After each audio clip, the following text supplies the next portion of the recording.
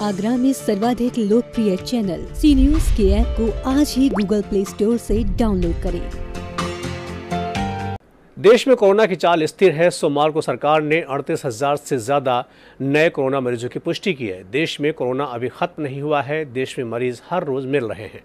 भारत में कोरोना की चाल तो धीमी है, लेकिन कोरोना अभी खत्म नहीं हुआ है। देश में केस लगातार मिल रहे हैं, नए मरीजों की संख्या हर रोज चालीस हज़ार के आसपास मिल रही है। सोमवार को सरकार द्वारा जारी की गई रिपोर्ट में अड़तीस नए कोरोना मरीजों की पुष्टि हुई, जबकि इस दौरान 24 घंटे में चार सौ निन्यानबे लोगों की कोविड से जान भी गई। 24 घंटे में चौदह लाख तिरसठ हज़ार पाँच सौ तिरानबे लोगों का कोविड टेस्ट भी कराया गया। देश में अब तक चौवालीस करोड़ चौवन लाख बाईस हज़ार दो सौ छप्पन लोगों का कोविड टेस्ट कराया जा चुका है। एक अरब पैंतीस करोड़ से ज़्यादा जनसंख्या वाले इस देश में अब तक चालीस करोड़ चौसठ लाख इक्यासी हज़ार चार सौ तिरानबे लोगों को वैक्सीन भी लगाई जा चुकी है। अब देश में चार लाख इक्कीस हज़ार छह सौ पैंसठ एक्टिव मरीज़ रह गए हैं। Vinod junior, C news Agra.